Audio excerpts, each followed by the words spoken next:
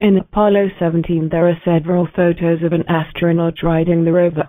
Among them, this one at S17 147 22524 and this one at S17 147 22526. Between these two photos, the rover has turned. The position of the sun's reflection on the spherical visor of the astronauts depends on the direction of the sunlight. If this point is it's because, between the two photos, the rover has turned, and so the astronaut's visor has also turned relatively to the direction of the sunlight.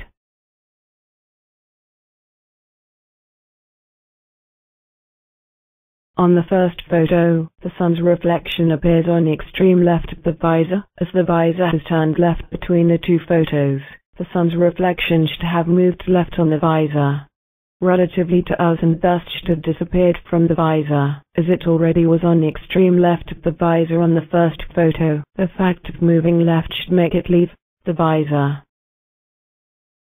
Yet you can see that the sun's reflection is at the same place on the visor of the second photo as it was on the first photo.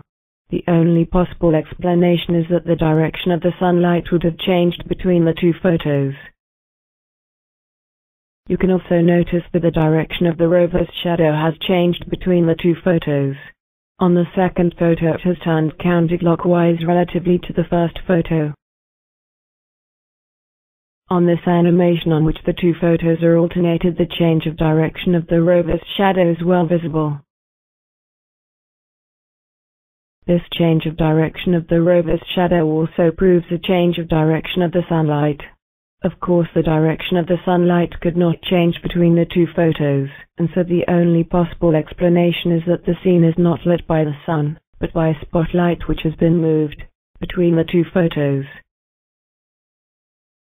Of course it's not only in Apollo 17 that the scene is lit by a mobile spotlight but in all the other missions as well. In Apollo 15 we can make a demonstration by making a panoramic with two photos, a S1582-11056 and a S1582-11057, and by joining the centers of the lens flares on the two photos with lines which must cross on the sun but you can see that these two lines cross much too high for the sun having caused these lens flares. The only possible explanation is that these lens flares cannot have been caused by the sun, but by a spotlight which has been moved between the two photos.